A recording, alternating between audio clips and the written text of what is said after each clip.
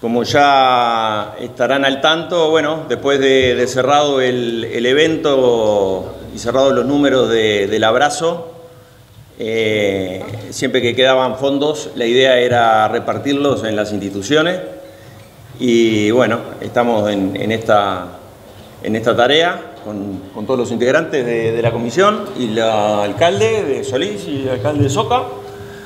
Te, cuento un poco lo que se hace, se viene haciendo desde el inicio del abrazo, ¿no?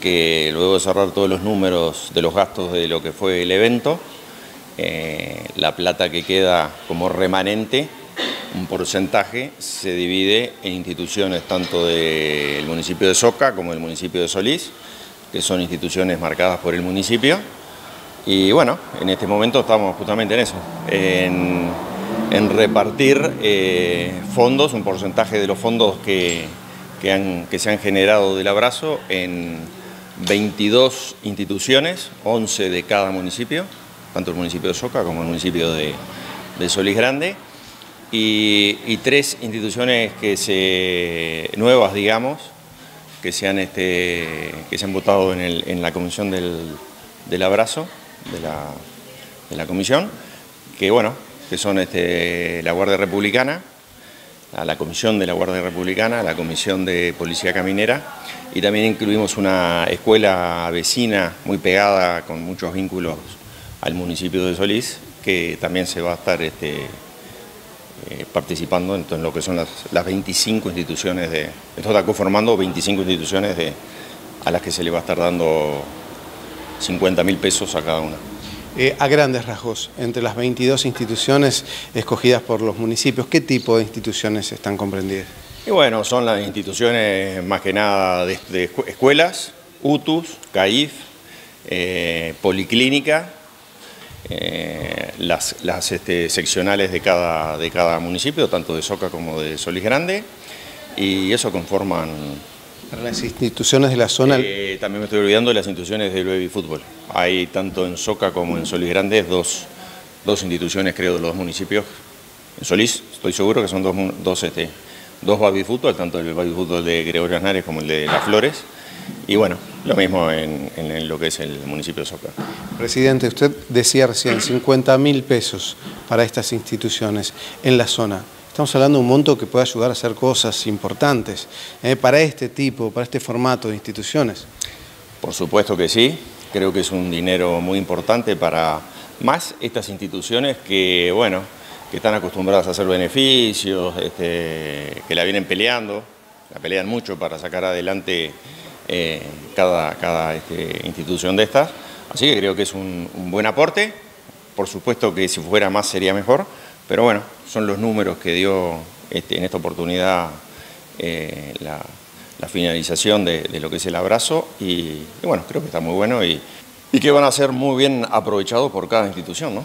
Este dinero surge del apoyo de la gente, del público a una nueva edición del festival. ¿Que ¿Cómo ha sido esa respuesta en este año 2022, de pronto en comparación con ediciones anteriores? Bueno, creo que luego de, terminada la, pandemia y de que estos eventos han comenzado nuevamente, la gente como que se ha volcado muchísimo a, eventos no solo al del abrazo, sino a otros eventos que, se hacen habitualmente en el país.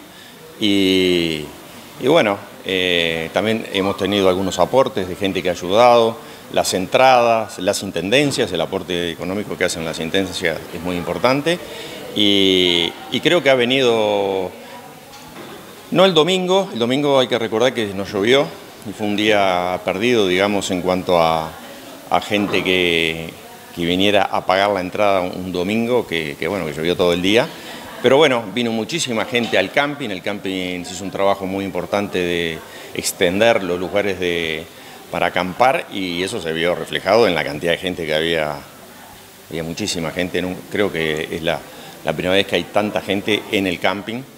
Y, bueno, y el viernes y el sábado fueron días lindos de buena, de buena concurrencia que hace a, que, bueno, a que haya fondos para, para este, luego de pagar todas las los gastos de escenario, luces, eh, los artistas.